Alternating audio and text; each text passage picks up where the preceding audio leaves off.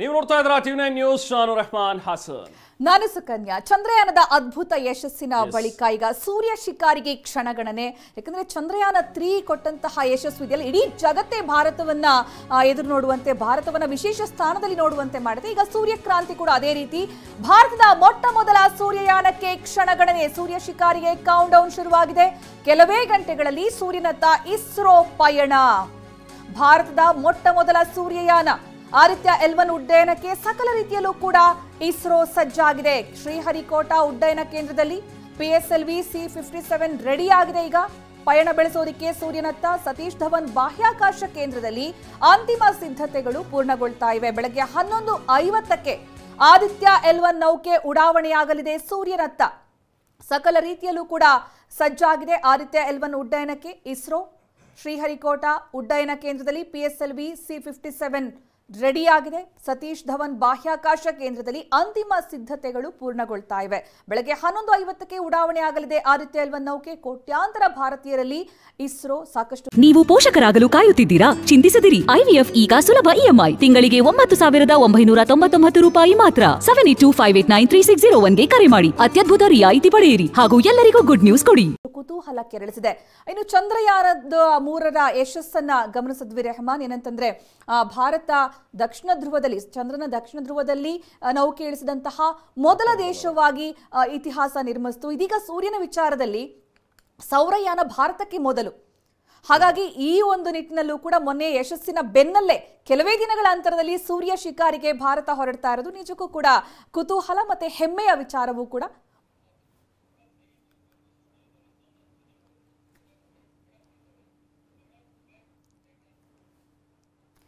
ಇನ್ನು ಆದಿತ್ಯ ಎಲ್ವನ್ ಉಡಾವಣೆಗೆ ಇನ್ನೇನು ಕೆಲವೇ ಕ್ಷಣಗಳು ಬಾಕಿ ಇರುವಂತಹ ಈ ಸಂದರ್ಭದಲ್ಲಿ ಇಸ್ರೋದವರು ಕೂಡ ದೇವರ ಮೊರೆ ಹೋಗ್ತಾರೆ. ಪ್ರತಿ ಬಾರಿ ಕೂಡ ನಾವು ಗಮನಿಸಿರ್ತೀವಿ ವಿಜ್ಞಾನ ಮತ್ತೆ ದೇವರು ಎರಡು ಒಟ್ಟೊಟ್ಟಿಗೆ ತಗೊಂಡು ಹೋಗುವಂತಹ ಕೆಲಸ ಮಾಡ್ತಾರೆ. ಹೌದು. ಈ ನಡುವೆ ತಿರುಪತಿ ತಿರುಮಲ ದೇಗುಲಕ್ಕೆ ಇಸ್ರೋ ವಿಜ್ಞಾನಿಗಳ ತಂಡ ಮತ್ತೆ ಭೇಟಿ ಕೊಟ್ಟು ವಿಶೇಷ ಪೂಜೆಯನ್ನು ಸಲ್ಲಿಸಿದ್ದಾರೆ. ತಿಮ್ಮಪ್ಪನ ಸನ್ನಿಧಿಯಲ್ಲಿ ಇಸ್ರೋ ವಿಜ್ಞಾನಿಗಳು ವಿಶೇಷ ಪೂಜೆ ಸಲ್ಲಿಸಿ ಪ್ರಾರ್ಥನೆ ಮಾಡಿದ್ರು. ಚಂಗಲಮ್ಮ ಪರಮೇಶ್ವರಿ ದೇವಾಲಯಕ್ಕೆ ಇಸ್ರೋ ಮುಖ್ಯಸ್ಥ ಸೋಮನಾಥ್ ಅವರು ಭೇಟಿ ಕೊಟ್ಟು ಪೂಜೆಯನ್ನ ಸಲ್ಲಿಸಿದ್ರು. ಇನ್ನು ಚಂದ್ರಯಾನ ಯಶಸ್ಸಿಗೂ ಮೊದಲು ಮತ್ತೆ ಚಂದ್ರಯಾನ ಯಶಸ್ಸಿನ ನಂತರ ದೇಗುಲಕ್ಕೆ ಸೋಮನಾಥ್ ಅವರು ಭೇಟಿ ಕೊಟ್ಟಂತಹ ದೃಶ್ಯವನ್ನು ಗಮನಿಸಿದ್ವಿ. ಇದೀಗ ಸೂರ್ಯಯಾನಕ್ಕೂ ಮೊದಲೇ ಅದೇ ರೀತಿಯ ಒಂದು ಭೇಟಿಯನ್ನ ಗಮನಿಸಬಹುದು. ಯಾಕಂದ್ರೆ ದೇವರ ಆಶೀರ್ವಾದ ಇಲ್ಲದೆ ಯಾವ ವಿಜ್ಞಾನವೂ ಕೂಡ, ಯಾವ ತಂತ್ರಜ್ಞಾನವೂ ಕೂಡ ಯಾವ ಯಶಸ್ಸನ್ನ ಸಾಧಿಸೋದಕ್ಕೆ ಸಾಧ್ಯ ಇಲ್ಲ ಅನ್ನುವಂಥದ್ದು ವಿಜ್ಞಾನಿಗಳ ನಂಬಿಕೆಯೂ ಕೂಡ ಆಗಿರುತ್ತೆ. ಹಾಗಾಗಿ ಇಲ್ಲಿ ದೇವರು ಬೇರೆ, ವಿಜ್ಞಾನ ಬೇರೆ ಅನ್ನುವಂತಹ ಪ್ರತ್ಯೇಕತೆಯನ್ನು ಬಿಟ್ಟು ಎಲ್ಲ ಒಟ್ಟೊಟ್ಟಿಗೆ ತಗೊಂಡು ಹೋಗುವ ರೀತಿ ಭಾಸವಾಗ್ತದೆ. ಅಂದ್ರೆ ಈ ಚಂದ್ರಯಾನ, ಸೂರ್ಯಯಾನ ಇಂತಹ ದೊಡ್ಡ ಪ್ರಾಜೆಕ್ಟ್ಗಳ ಒಂದು ಲಾಂಚ್ ಸಂದರ್ಭದಲ್ಲಿ ದೇವರ ಆಶೀರ್ವಾದ ಇದ್ರೆ ಖಂಡಿತವಾಗ್ಲೂ ಅದು ಯಶಸ್ವಿ ಆಗುತ್ತೆ ಅನ್ನುವಂತಹ ನಂಬಿಕೆ, ಒಬ್ಬ ಸಾಮಾನ್ಯ ಮನುಷ್ಯನಲ್ಲಿ ಯಾವ ರೀತಿ ನಂಬಿಕೆ ಇದೆ ಅದು ವಿಜ್ಞಾನಿಗಳು ಕೂಡ ಪಾಲಿಸ್ತಾರೆ ಅನ್ನೋದು ಈ ದೃಶ್ಯದಿಂದ ಸಾಬೀತಾಗುತ್ತೆ. ಸೋಮನಾಥ್ ಅವರು ಚಂಗಲಮ್ಮ ಪರಮೇಶ್ವರಿ ದೇವಾಲಯಕ್ಕೆ ಭೇಟಿ ಕೊಟ್ಟು ಅಲ್ಲಿ ದೇವರಿಗೆ ಪ್ರಾರ್ಥನೆ, ವಿಶೇಷ ಪೂಜೆಯನ್ನ ಸಲ್ಲಿಸಿದ್ರು ಇದರ ಯಶಸ್ಸಿಗಾಗಿ. Aditya L1 satellite is for studying our sun. The countdown for uh, PSLV C57 Aditya L1 mission is starting noon time. We will have the launch.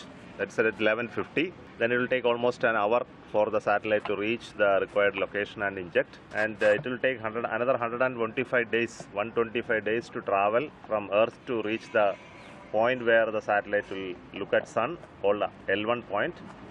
So I came here to f- to Changalamba Parameshwari for getting us the strength for making this launch again. Very important launch, successful. And uh, thank all of you for being with us during Chandrayaan 3 launch as well as for the launch of Aditya L1. Wishing you all the very best. Thank you. Uh, Aditya L1 satellite is for studying our sun. The countdown for uh, PSLV C57 Aditya. ಎಸ್ ಭಾಸ್ಕರ್ನತ್ತ ಜಿಗಿಯೋದಕ್ಕೆ ಈಗ ಆದಿತ್ಯ ಎಲ್ವ ನೌಕೆ ಕೂಡ ಸಜ್ಜಾಗಿದೆ. ಆದಿತ್ಯ ಯಶಸ್ವಿ ಉಡಾವಣೆಗಾಗಿ ದೇಶಾದ್ಯಂತ ಪ್ರಾರ್ಥನೆ ಕೂಡ ನಡೀತಾ ಇದೆ. ಸೊ, ದೇಶದ ಹಲವು ದೇವಾಲಯಗಳಲ್ಲಿ ಪೂಜೆ ಪುನಸ್ಕಾರಗಳು ಈಗಾಗಲೇ ನಡೀತಾ ಇವೆ. ಒಂದು ಸಕ್ಸಸ್ ಕಾಣಬೇಕು ಅಂತ ಹೇಳಿ ವಾರಣಾಸಿಯಲ್ಲೂ ಕೂಡ ಭಕ್ತಾದಿಗಳು ಹೋಮ ಹವನವನ್ನ ಈಗ ಕೈಗೊಂಡಿದ್ದಾರೆ. ತ್ರಿವರ್ಣ ಧ್ವಜ ಮತ್ತು ಆದಿತ್ಯ ನೌಕೆ ಚಿತ್ರವನ್ನ ಹಿಡಿದು ಪೂಜೆಯನ್ನ, ವಿಶೇಷ ಪೂಜೆಯನ್ನ ಈಗ ಮಾಡಲಾಗ್ತಾ ಇದೆ. ಭಾಸ್ಕರ್ನತ್ತ ಜಿಗಿಯೋದಕ್ಕೆ ಆದಿತ್ಯ ಎಲ್ವ ನೌಕೆ ಈಗ ಸಜ್ಜಾಗಿದೆ ಸೊ ಹಾಗಾಗಿ ಜನರಲ್ಲಿರುವಂತಹ ಒಂದು ಕುತೂಹಲ, ಯಾಕಂದ್ರೆ ಈಗಾಗಲೇ ಚಂದ್ರಯಾನ ತ್ರೀಯ ಒಂದು ಯಶಸ್ಸೇನಿದೆ ಅದು ಇಡೀ ವಿಶ್ವವೇ ಭಾರತದತ್ತ ತಿರುಗಿ ನೋಡುವಂತೆ ಮಾಡಿದೆ. ಅಂದರೆ ಭಾರತದವರು ಕೂಡ ಏನು ಕಮ್ಮಿ ಇಲ್ಲ, ನಾಸಾ ಎಷ್ಟು ಮಟ್ಟಿನ ಒಂದು ಸಾಧನೆಯನ್ನು ಮಾಡಬಲ್ಲದು ಅನ್ನುವಂಥದ್ದನ್ನು ಜಗತ್ತಿಗೆ ತೋರಿಸ್ಕೊಟ್ಟಿದೆ. ಅದು ಕೂಡ ಸಾವಿರ, ಸಾವಿರದ ಆರುನೂರು ಹೆಚ್ಚು ಕೋಟಿಗಳನ್ನು ಸುರಿದು ಮಾಡುವಂಥ ಒಂದು ಚಂದ್ರಯಾನ ಎಲ್ಲ ಪ್ರಾಜೆಕ್ಟ್ಗಳೇನಿವೆ, ಅದರ ಮುಂದೆ ಕೇವಲ ಆರುನೂರ ಹದಿನೈದು ಕೋಟಿಯನ್ನು ಖರ್ಚು ಮಾಡಿ ಚಂದ್ರಯಾನವನ್ನು ಯಶಸ್ಸುಗೊಳಿಸಿರುವಂಥದ್ದು ಇಸ್ರೋದ ಮತ್ತೊಂದು ಕೀರ್ತಿ. ಅದೇ ರೀತಿ ಈಗ ಸೂರ್ಯ ಶಿಕಾರಿಗೆ ಹೊಡ್ತಾ ಇದೆ. ಇದು ಕೂಡ ಬಹಳ ಕಮ್ಮಿ ಬಜೆಟ್. ಬಹುಶಃ ನಾವು ನೋಡ್ತಾ ಹೋದರೆ ಇತ್ತೀಚಿನ ಇಂಡಿಯನ್ ಸಿನಿಮಾಗಳನ್ನೇ ನಾನ್ನೂರೈವತ್ತು ಐನೂರು ಕೋಟಿ, ಆರುನೂರು ಕೋಟಿ ದಾಟಿ ಹೋಗ್ತಾ ಇದೆ ಅದರ ಬಜೆಟ್ಗಳು. ಆದರೆ ಅಂಥದ್ರಲ್ಲಿ ನಮ್ಮ ಇಸ್ರೋ ಇದಕ್ಕೆ ಖರ್ಚು ಮಾಡ್ತಾ ಇರುವಂಥದ್ದು ಕೇವಲ ಮುನ್ನೂರ ಇಪ್ಪತ್ತೆಂಟು ಕೋಟಿಗಳು ಮಾತ್ರ. ಸೊ ಹಾಗಾಗಿ ಅಷ್ಟು ಕಡಿಮೆ ಖರ್ಚಿನಲ್ಲಿ ಒಂದು ಸೌರ ಸೌರಯಾನವನ್ನು ಕೈಗೊಳ್ತಾ ಇದೆ ಇಸ್ರೋ ಸೊ ಹಾಗಾಗಿ ಇದು ಸಕ್ಸಸ್ ಆಗಲಿ ಅಂಥೇಳಿ ದೇಶಾದ್ಯಂತ ಪ್ರಾರ್ಥನೆಗಳು, ಪೂಜೆಗಳು ಕೂಡ ನಡೀತಾ ಇದೆ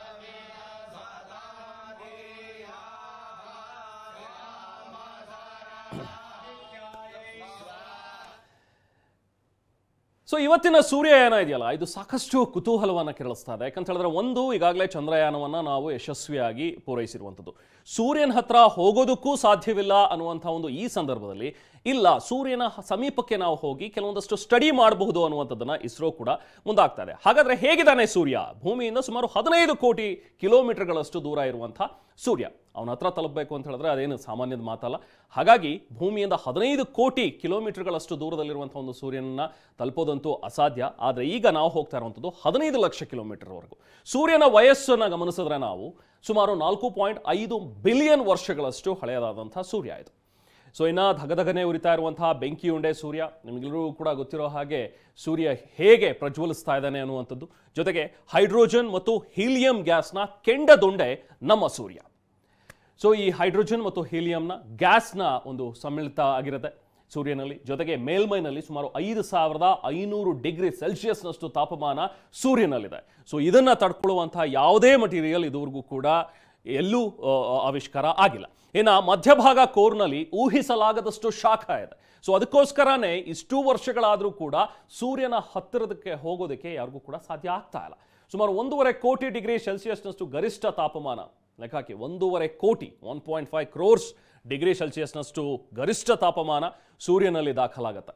ಇನ್ನು ಸೂರ್ಯನ ಅಧ್ಯಯನ ಯಾಕೆ ಮಾಡಬೇಕು ಹಾಗಾದ್ರೆ? ಇಷ್ಟೊಂದು ಪ್ರಕಾಶಿತ ಇರುವಂಥ ಒಂದು ಸೂರ್ಯನ ಅಧ್ಯಯನ ಯಾಕಾಗತ್ತೆ? ಇಡೀ ಸೌರಮಂಡಲದ ಶಕ್ತಿ ಕೇಂದ್ರನೇ ಸೂರ್ಯ.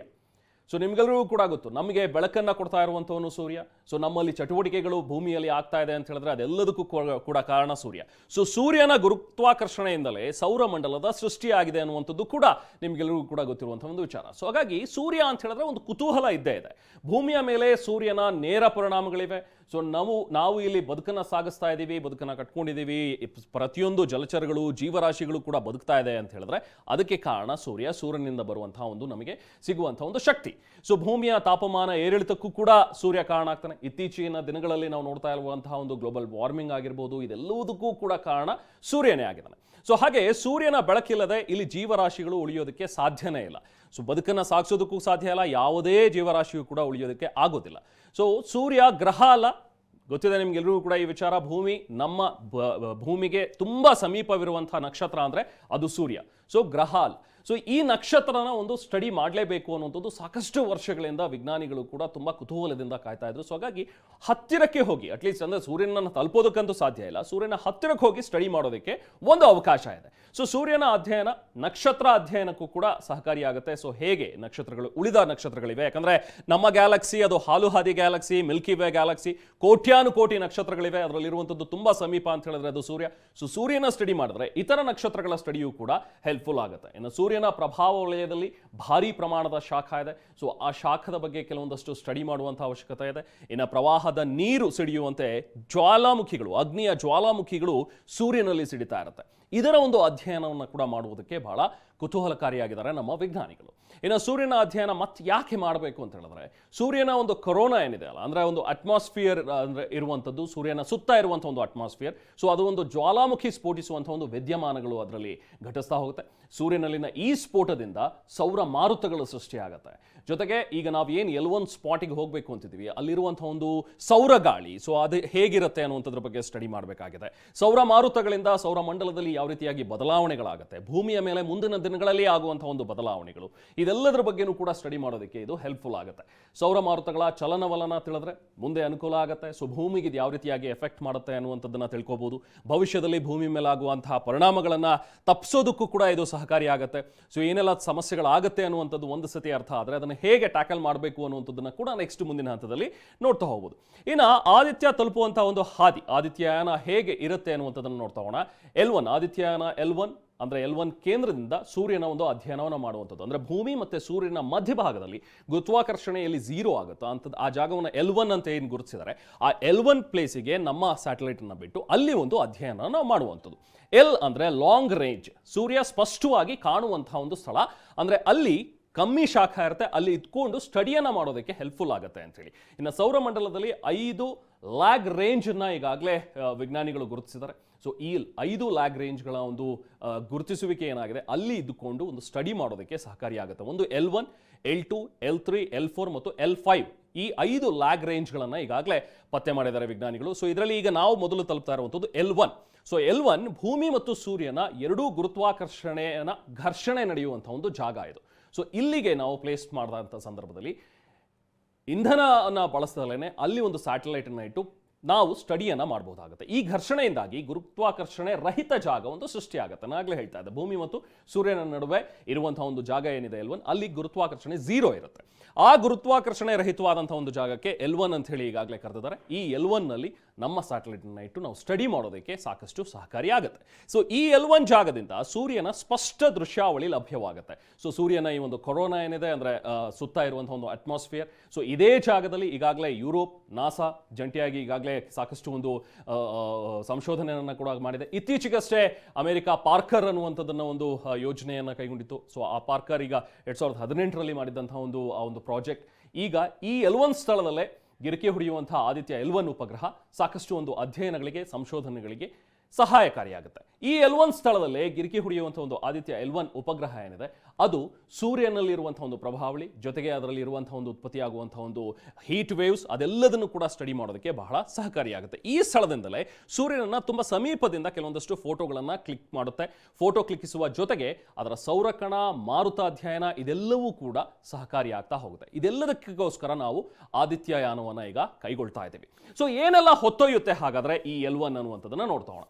ಎರಡು ರೀತಿಯ ಸಾಧನಗಳನ್ನು ಆದಿತ್ಯ ಎಲ್ ಒನ್ ಹೊತ್ತೊಯ್ಯುತ್ತೆ. ಒಟ್ಟು ಏಳು ಪೇಲೋಡ್ಗಳಿವೆ ಎರಡು ರೀತಿಯ ಸಾಧನಗಳನ್ನು ಹೊತ್ತೊಯ್ಯುವಂಥ ಒಂದು ಆದಿತ್ಯ ಎಲ್ ಒನ್ ಸೊ ಅದನ್ನು ಎರಡು ಭಾಗಗಳಾಗಿ ನಾವು ವಿಂಗಡಿಸಿದ್ವಿ. ಒಂದು ನಾಲ್ಕು, ಇನ್ನೊಂದು ಮೂರು. ಸೊ ರಿಮೋಟ್ ಆಧಾರಿತ ಸೆನ್ಸರ್ಗಳು ಮತ್ತು ಮೂಲ ಸೆನ್ಸರ್ಗಳು ಅನ್ನುವಂಥದ್ದನ್ನು ಎರಡು ಭಾಗಗಳಾಗಿ ಇಲ್ಲಿ ನಾವು ವಿಂಗಡಿಸಿದ್ವಿ. ಏಳು ಪೇಲೋಡ್ಗಳು ಒಟ್ಟು. ಸೊ ಅದರಲ್ಲಿ ಮೊದಲ ಒಂದು ಸೆಟ್ನಲ್ಲಿ ನಾಲ್ಕು ಪೇಲೋಡ್ಗಳಿರುತ್ತೆ ಇನ್ನು ಎರಡನೇ ಸೆಟ್ನಲ್ಲಿ ಮೂರು ಪೇಲೋಡ್ಗಳು ಸೊ ರಿಮೋಟ್ ಆಧಾರಿತ ಸೆನ್ಸರ್ಗಳು ಮತ್ತು ಮೂಲ ಸೆನ್ಸರ್ಗಳು ಅನ್ನುವಂಥದ್ದನ್ನು ಎರಡು ಭಾಗಗಳನ್ನು ನೋಡ್ತೀವಿ. ಇನ್ನು ರಿಮೋಟ್ ಆಧಾರಿತ ಸೆನ್ಸರ್ನಲ್ಲಿ ನಾಲ್ಕು ಪೇಲೋಡ್ಗಳಿವೆ ಸೊ ಈ ನಾಲ್ಕು ಪೇಲೋಡ್ಗಳು ಸೂರ್ಯನನ್ನ ನೇರವಾಗಿ ಅಧ್ಯಯನ ಮಾಡೋದಕ್ಕೆ ನಾವು ಅದನ್ನು ಬಳಸ್ಕೊಳ್ತೀವಿ. ಒಂದು ವಿಇ ಸಿ ಎಸ್ ಅಂದರೆ ಪ್ರಭಾವಲಯದ ಪರಿಶೀಲನೆ ನಡೆಸುವಂಥದ್ದು. ಸೊ ಇದು ಮೊದಲ ಪೇಲೋಡ್ ವಿಇ ಸಿ ಎಸ್ ಅನ್ನುವಂಥ ಒಂದು ಮೊದಲ ಪೇಲೋಡ್ ಇನ್ನೊಂದು ಎಸ್ ಯು ಐ ಟಿ ಇದು ಎರಡನೇ ಪೇಲೋಡ್ ನೇರಾಳಾತ ನೇರಳಾತೀತ ಕಿರಣ ನೋಡುವಂಥ ಒಂದು ದೂರದರ್ಶಕ. ಅಂದರೆ ಸೂರ್ಯನನ್ನ ಹತ್ತಿರದಿಂದ ಸ್ಟಡಿ ಮಾಡೋದಕ್ಕೆ ಸಹಕಾರಿಯಾಗುವಂಥದ್ದು. ಇನ್ನೊಂದು S O L E X S ಕಡಿಮೆ ಬಲದ ಕ್ಷಕಿರಣಗಳ ಒಂದು ಪರಿಶೀಲನೆಯನ್ನು ಇದು ನಡೆಸುತ್ತೆ. ಸೊ ಇದು ಮೂರನೇ ಪೇಲೋಡ್ ಜೊತೆಗೆ ನಾಲ್ಕನೇದು ಹೀಲಿಯೋಸ್, ಅಂದರೆ H E L I O S Helios, ಪ್ರಬಲ ಕ್ಷಕಿರಣಗಳ ಪರಿಶೀಲಿಸುವಂಥ ಒಂದು ಸಾಧನ. ಇಂಥ ಒಂದು ನಾಲ್ಕು ಪೇಲೋಡ್ಗಳು ಮೊದಲ ಒಂದು ಹಂತದಲ್ಲಿರುತ್ತೆ. ಇನ್ನು ಎರಡನೇ ವಿಭಾಗ, ಎರಡನೇ ಹಂತ ಮೂಲ ಸೆನ್ಸರ್ಗಳಲ್ಲಿ. ಸೊ ಈ ಮೂಲ ಸೆನ್ಸರ್ಗಳಲ್ಲಿ ಮೂರು ಪೇಲೋಡ್ಗಳನ್ನು ನಾವಿಲ್ಲಿ ಗುರುತಿಸಿದ್ವಿ. ಸೊ ಈ ಮೂರು ಮೂರು ಪೇಲೋಡ್ಗಳು ಇರುತ್ತೆ ಈ ಒಂದು ಉಪಗ್ರಹದಲ್ಲಿ. ಅದರಲ್ಲಿ Aspex A S P X ಅನ್ನುವಂಥ ಒಂದು ಆಸ್ಪೆಕ್ಸ್ ಸೌರ ಕಣಗಳ ಒಂದು ಪರಿಶೀಲನೆ ನಡೆಸುವಂಥ ಒಂದು ಸಾಧನ. ಇದನ್ನು ಬಳಸಿ ಸೌರಮಂಡಲದಲ್ಲಿರುವಂಥ ಒಂದು ಸೌರ ಕಣಗಳ ಒಂದು ಅಧ್ಯಯನ ನಡೆಸಬಹುದು. ಇನ್ನೊಂದು P A P A Papa plasma ಪರಿಶೀಲಿಸುವಂಥ ಒಂದು ಸಾಧನ ಇದು. ಸೊ ಈ ಪೇಲೋಡನ್ನು ಬಳಸಿ ಸೂರ್ಯನ ಒಂದು ಪ್ಲಾಸ್ಮಾ ಅದನ್ನು ಒಂದು ಪರಿಶೀಲನೆ ನಡೆಸೋದಕ್ಕೆ ನಮಗೆ ಸಹಕಾರಿಯಾಗುತ್ತೆ. ಇನ್ನು ಜೊತೆಗೆ ಅಯಸ್ಕಾಂತೀಯ ಗುಣಗಳ ಪರಿಶೀಲನೆ ನಡೆಸುವಂಥ ಒಂದು ಸಾಧನ. ಸೊ ಅಂದರೆ ಒಂದು ಮ್ಯಾಗ್ನೆಟಿಕ್ ಪಾಯಿಂಟ್ಸ್ ಏನಿದೆ ಸೊ ಅದನ್ನು ಸ್ಟಡಿ ಮಾಡೋದಕ್ಕೋಸ್ಕರ ಇನ್ನೊಂದು ಇರುವಂಥ ಪೇಲೋಡ್ ಒಟ್ಟು ಈ ಏಳು ಪೇಲೋಡ್ಗಳನ್ನು ಬಳಸಿ ಸೂರ್ಯ ಕ್ರಾಂತಿಯನ್ನು ನಡೆಸಲಾಗ್ತಾ ಇದೆ. ಸೂರ್ಯ ಅಧ್ಯಯನಕ್ಕೆ ಇದು ಸಹಕಾರಿಯಾಗ್ತಾ ಇದೆ. ಸೊ ಈಗಾಗಲೇ ಕ್ಷಣಗಣನೆ ಆರಂಭವಾಗಿದೆ. ಸುಮಾರು ಒಂದು ಹನ್ನೊಂದು ಗಂಟೆ ಐವತ್ತು ನಿಮಿಷಕ್ಕೆ ಇರುವಂತಹ ಒಂದು ಮುಹೂರ್ತ. ಸೊ ಸೂರ್ಯಕಾಂತಿಯನ್ನು ನಡೆಸೋದಕ್ಕೆ ಇಸ್ರೋ ಕೂಡ ಸಿದ್ಧತೆಯನ್ನು ನಡೆಸ್ಕೊಳ್ತಾ ಇರುವಂಥದ್ದು ಒಂದು ಕಡೆ. ಆದರೆ ಮತ್ತೊಂದು ಕಡೆ ನೆಹರು ತಾರಾಲಯದಲ್ಲೂ ಕೂಡ ವ್ಯವಸ್ಥೆಗಳನ್ನು ಮಾಡಿಕೊಳ್ಳಲಾಗಿದೆ. ಸೊ ಈ ಒಂದು ನೆಹರು ತಾರಾಲಯದಲ್ಲಿ ವೀಕ್ಷಣೆ ಮಾಡೋದಕ್ಕೆ ಹನ್ನೊಂದು ಐವತ್ತಕ್ಕೆ ಏನು ಉಡಾಯನ ಆಗುತ್ತೆ. ಸೊ ಇವತ್ತು ಉಡಾಯಣ ಆಗ್ತಾ ಇದೆ. ಅದಾದ ನಂತರ ಬಹುಶಃ ಈಗಷ್ಟೇ ಸೋಮನಾಥ್ ಅವರು ಕೂಡ ಹೇಳ್ತಾ ಇದ್ದ ಹಾಗೆ ಒಂದು ಗಂಟೆಯಲ್ಲಿ ಅದು ಭೂಮಿಯ ಕಕ್ಷೆ ಸೇರುತ್ತೆ. ಅದಾದ ನಂತರ ನಾವೇನು ಮಾರ್ಸ್ ಮಿಷನ್ ಅನ್ನು ಮಾಡಿದ್ವಿ, ಅಂದ್ರೆ ಮಂಗಳಯಾನವನ್ನು ಮಾಡಿದ್ವಿ, ಅಥವಾ ಚಂದ್ರಯಾನವನ್ನು ಮಾಡಿದ್ವಿ, ಸ್ಪಿನ್ ಅಂಡ್ ಮೂವ್ ಅನ್ನುವಂಥ ಒಂದು ಟೆಕ್ನಾಲಜಿಯನ್ನು ನಾವೇನು ಬಳಸ್ತಾ ಇದ್ವಿ ಅಂದ್ರೆ ಮೊದಲು ಭೂಮಿಯ ಕಕ್ಷೆಯಲ್ಲಿ ಸುತ್ತುವಂಥದ್ದು ನಿಧಾನಕ್ಕೆ ಅದರ ಒಂದು ಫೋರ್ಸನ್ನು ಜಾಸ್ತಿ ಮಾಡ್ತಾ ಹೋಗಿ ಎಲ್ ಒನ್ ಪ್ಲೇಸಿಗೆ ಸ್ಯಾಟಲೈಟನ್ನು ಬಿಟ್ಟು ಬರುವಂಥದ್ದು. ಸೊ ಇದೇ ಥರದ ಟೆಕ್ನಾಲಜಿ ಈ ಈ ಬಾರಿಯೂ ಕೂಡ ನಾವು ಬಳಕೆ ಮಾಡ್ತಾ ಇದ್ದೀವಿ. ಇನ್ನು ಆದಿತ್ಯ ಎಲ್ವನ್ ಉಡಾವಣೆಯನ್ನು ವಿದ್ಯಾರ್ಥಿಗಳಿಗೆ ತೋರಿಸೋದಕ್ಕೆ ಅಂತ ಬೆಂಗಳೂರಲ್ಲಿ ನೆಹರು ತಾರಾಲಯದಲ್ಲಿ ವಿಶೇಷ ವ್ಯವಸ್ಥೆಯನ್ನು ಮಾಡಲಾಗಿದೆ. ಅದರ ಕನ್ನಡದ ವಿವರಣೆಯನ್ನು ಕೂಡ ಅಲ್ಲಿ ನೀಡಲಾಗುತ್ತೆ. ಸ್ಕ್ರೀನಿಂಗ್ ಮೂಲಕ ಕಂಪ್ಲೀಟ್ ಆಗಿ ಮಾಹಿತಿಯನ್ನು ವಿದ್ಯಾರ್ಥಿಗಳಿಗೆ ನೀಡಲಾಗುತ್ತೆ. ನಮ್ಮ ಪ್ರತಿನಿಧಿ ವಿನಯ್ ನೆಹರು ತಾರಾಲಯದಿಂದ ಒಂದು ಪ್ರತೀಕ್ಷಾ ವರದಿಯನ್ನು ಕೊಟ್ಟಿದ್ದಾರೆ. ನೋಡೋಣ ಬನ್ನಿ. ಚಂದ್ರಯಾನ ಮೂರು ಸಕ್ಸಸ್ ಬೆನ್ನಲ್ಲೇ ಇಸ್ರೋ ವಿಜ್ಞಾನಿಗಳು ಮತ್ತೊಂದು ಬಾಹ್ಯಾಕಾಶ ಸಂಶೋಧನಾ ವಿಭಾಗದಲ್ಲಿ ಮಹತ್ವದ ಸಾಧನೆಗೆ ಮುಂದಾಗಿದ್ದಾರೆ. ಅದೇ ಆದಿತ್ಯ ಎಲ್ವನ್ ಆದಿತ್ಯ ಎಲ್ವನ್ ಉಡಾವಣೆಗೆ ಈಗಾಗಲೇ ಕೌಂಟೌನ್ ಶುರುವಾಗಿರುವಂಥದ್ದು ನೆಹರು ತಾರಾಲಯ. ಮತ್ತೊಂದು ಮಹತ್ವದಂತಹ ಮಾಡೆಲನ್ನು ಕೂಡ ರೆಡಿ ಮಾಡಿದೆ. ಜನರಿಗೆ ಪರಿಚಯಿಸುವಂಥದ್ದು, ಜೊತೆಗೆ ಅರ್ಥೈಸುವಂಥದ್ದು, ಜೊತೆಗೆ ಸುಲಭವಾಗಿ ಅವರಿಗೆ ಯಾವ ರೀತಿಯಾಗಿ ಆದಿತ್ಯ ಎಲ್ವನ್ ಉಡಾವಣೆ ಆಗುತ್ತೆ ಶ್ರೀಹರಿಕೋಟಾದಿಂದ ಉಡಾವಣೆಯಾಗುವಂತಹ ಆದಿತ್ಯ ಎಲ್ವನ್ ನೌಕೆ ಯಾವ ರೀತಿಯಾಗಿ ಉಡಾವಣೆಯಾದ ನಂತರ ತನ್ನ ಕಕ್ಷೆಯನ್ನು ಬ ಅಂದರೆ ಭೂಮಿಯ ಕಕ್ಷೆಯನ್ನು ಬದಲಾಯಿಸ್ತಾ ಬದಲಾಯಿಸ್ತಾ ಅಂದರೆ ತನ್ನ ಗ್ರಾವಿಟಿ ಪವರನ್ನು ಕಳೆದುಕೊಂಡು ನಂತರ ಎಲ್ ಒನ್ ಕಕ್ಷೆ ಹಾಲೋ ಕಕ್ಷೆಯನ್ನು ತಲುಪುವಂಥದ್ದು. ಅದಾದ ಬಳಿಕ ಸೂರ್ಯನ ಬಗ್ಗೆ, ಅಂದರೆ ಸೂರ್ಯನ ಕುರಿತಾಗಿ ಅಧ್ಯಯನ ಮಾಡುವಂಥ ವಿಚಾರಗಳಿಗೆ ಸಂಬಂಧಪಟ್ಟಂತೆ ಸಾಕಷ್ಟು ಜನರಿಗೆ ಅರ್ಥೈಸುವಂಥದ್ದು ಯಾವ ರೀತಿಯಾಗಿ ಪ್ರೊಸೆಸ್ ಇರುತ್ತೆ, ಯಾವ ರೀತಿಯಾಗಿ ಅದು ಉಡಾವಣೆ ಆಗುತ್ತೆ, ಹೇಗೆಲ್ಲ ಸೂರ್ಯನ ಕುರಿತು ನಾವು ಅಧ್ಯಯನ ಮಾಡ್ತೀವಿ, ಎಷ್ಟು ದಿವಸಗಳ ಕಾಲ ಅಧ್ಯಯನ ಮಾಡ್ತೀವಿ, ಜೊತೆಗೆ ಎಷ್ಟು ಗಂಟೆಗೆ ಅದು ತಲುಪುತ್ತೆ ಮತ್ತು ಯಾವ ರೀತಿಯಾದಂಥ ಅಂಶಗಳನ್ನು ಕುರಿತು ಅಧ್ಯಯನ ಮಾಡುತ್ತೆ ಅನ್ನೋಂಥ ಪ್ರಮುಖವಾದಂತಹ ಅಂಶಗಳ ಕುರಿತ ಹಾಗೆ ಮಾಡೆಲನ್ನು ಕೂಡ ರೆಡಿ ಮಾಡಿದ್ದಾರೆ. ನೀವು ನೋಡ್ಬೋದು. ಈ ಆದಿತ್ಯ ಎಲ್ವನ್ ನೌಕೆ ಏನಿದೆ ಉಪಗ್ರಹ ಇದರಲ್ಲಿ ಸುಮಾರು ಏಳು ವೈಜ್ಞಾನಿಕ ಸಲಕರಣೆಗಳಿದೆ. ಇದರಲ್ಲಿ ತುಂಬ ಮುಖ್ಯವಾಗಿರೋದು ಅಂದರೆ ವಿ ಎಲ್ ಸಿ ಅಂತ. ವಿಸಿಬಲ್ ಲೈನ್ ಎಮಿಷನ್ ಕರೋನಲ್ ಇದು ಸ್ಪೆಕ್ಟ್ರಾ ಅಂತ ಕರೋನೋಗ್ರಾಫ್ ಅಂತ. ಸೊ ಇದು ಕರೋನಾ ಅನ್ನೋದೇನಿದೆ. ಯಾವುದು ಸೂರ್ಯನ ಹೊರಪದರ ಆಗಿದೆ. ಅದ್ರ ಬಗ್ಗೆ ಅಧ್ಯಯನ ನಡೆಸುತ್ತೆ. ಅದೇ ರೀತಿ ಇನ್ನೊಂದು ಸೂಟ್ ಅಂತ ಅಂದರೆ ಸೋಲಾರ್ ಅಲ್ಟ್ರಾವೈಲೆಟ್ ಇಮೇಜಿಂಗ್ ಟೆಲಿಸ್ಕೋಪ್ ಅದು ಅಲ್ಟ್ರಾ ವೈಲೆಟ್ ಕಿರಣಗಳನ್ನ ಸಂಗ್ರಹಿಸಿ ಸೂರ್ಯನ ಬಗ್ಗೆ ಇನ್ನಷ್ಟು ಹೆಚ್ಚು ಮಾಹಿತಿಗಳು ಕೊಡುತ್ತೆ.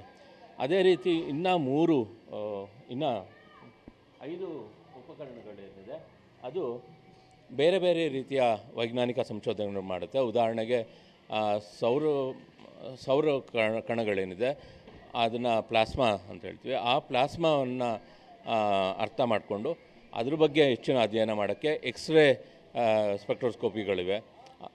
ಅಲ್ಲೆರಡು ಇನ್ಸ್ಟ್ರೂಮೆಂಟ್ ಇದೆ. ಅದಲ್ಲದೆ ಮ್ಯಾಗ್ನೆಟೋಮೀಟರ್ಸ್ ಅಂದರೆ ಇದು ಎಲ್ ಒನ್ ಕಕ್ಷೆಯಲ್ಲಿ ಸುತ್ತುತ್ತಾ ಇರುವಾಗ ಆ ಪ್ರದೇಶದಲ್ಲಿ ಏನು ಅಯ- ಅಯಸ್ಕಾಂತಿಕ ಏನು ಕಾಂತಿ ಇದೆ ಕಾಂತಿ ವಲಯ, ಅದ್ರ ಬಗ್ಗೆ ಅಧ್ಯಯನ ಮಾಡುತ್ತೆ ಮ್ಯಾಗ್ನೆಟಿಕ್ ಫೀಲ್ಡ್ ಬಗ್ಗೆ.